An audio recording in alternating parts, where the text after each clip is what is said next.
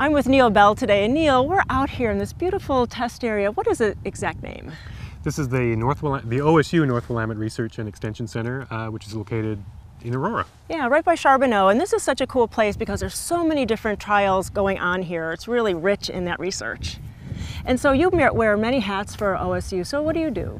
Uh, I'm officially the community horticulturalist for Marion County and Polk County for OSU Extension. So I oversee the Master Gardener program as well as um, various other things like doing these research trials. I bet that's a lot of fun doing the research. Yes, I really enjoy doing so this. interesting. Getting outside is one of, one of the things you enjoy about gardening, so this gives me that opportunity. Right, right. And you've done other things. You've done Hebes, you've done Ceanothus, and so now it's Manzanita, which is a cool Right. plant. A very cool plant, and also uh, some of them native to Oregon as well. So that's kind of a one of the things that we've tried to do. But yeah, uh, it's a, a west uh, genus of Western uh, North American plants, uh, evergreen shrubs, very drought tolerant. And so I guess my main interest in Manzanita, um, as an ornamental, uh, focuses on its drought tolerance. Ah, so when did you start this trial? This one was started in 2011. We started collecting cuttings the previous year. Uh, we rooted them here and then planted this out as six inch pots in September of 2011. Wow, and so how many are left? We're in 2015, so how many are left?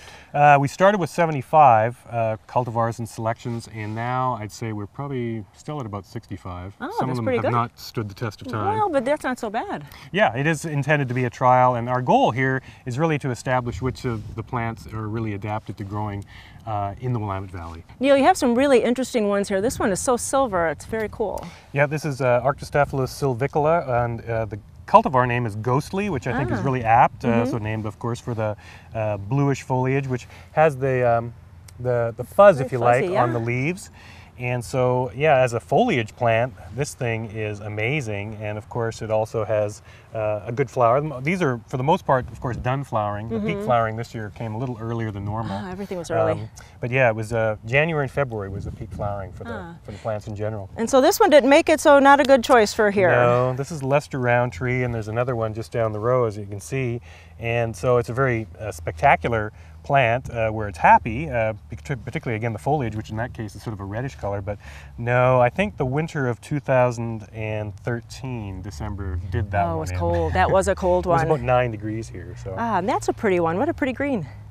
and this is uh, yeah, this is a, uh Arctostaphylos glandulosa. It's actually a selection which was shared with me by Sean Hogan of Cistus Nursery. Ah, okay. Um, so he's done a lot of collecting down in Southern Oregon and also in uh, Northern California, and so he shared some of his um, acquisitions with us, and this is one of them. And as you can see, it's a nice mm, uh, green rounded shrub, and a lot of them actually are like that. Uh, that sort of nice rounded habit, which which I like. Um, Partly, be- and the other thing to keep in mind is that these has never been pruned. These oh, we don't wow. prune these plants. That's so- nice and low for yeah, small and so spaces. small spaces and uh, no pruning requirement. The other thing we don't do here is water uh, or fertilize or uh, spray any fungicides or insecticides. So our goal really is to uh, find a low maintenance shrub, if you like. And that's what we all want. I mean, we want to be having fun in our gardens. I mean, we like to put our plants in, but we don't want to really do that day to day or week to Yeah. week maintenance on it. So these are intended to be low maintenance, but of course they have to be hardy enough to, to grow in our climate, and our climate throws some nasty freezes out from time to time. And this one, I think we find everybody knows. This one, Kinnicknick. Yeah, this is Kinnickinnick, uh, Massachusetts, which is the the uh, standard, if you like, of uh, the uh, trade. Uh, if you're going to find any Manzanita or any Arctostaphylos Right. at all, it would it would be Arctostaphylos uva ursi, which is Kinnickinnick.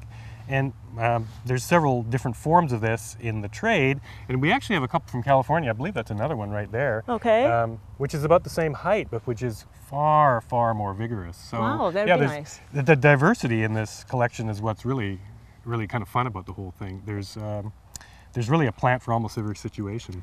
Neil, so all this work isn't for fun. It's really for our homeowners' use at the end of it. Yeah, uh, ultimately what we want to do is uh, make available some of the better selections to uh, nurseries, and so we've done that in the past with the trials we've had out here, uh, and they reach a point where uh, the, the, the nurseries can come and take cuttings of some of the Oh, ones that they think are um, most sale worthy, if you like, Sure. and so in that way they end up in the hands of homeowners. So really, it is intended to be um, an exercise that puts uh, the knowledge in the hands of the of the homeowners in Ah. this area. So. No, that is great. And so, you know, if you love these plants and you want to find out more about it, go to your local nurseries. And so hopefully they'll be able to contact Neil and come and get some cuttings and they'll be in the nursery trade in the next couple of years. Thanks for all this work. It's really, really great for us. Thank Oh, you. I enjoy it. Thanks, Judy.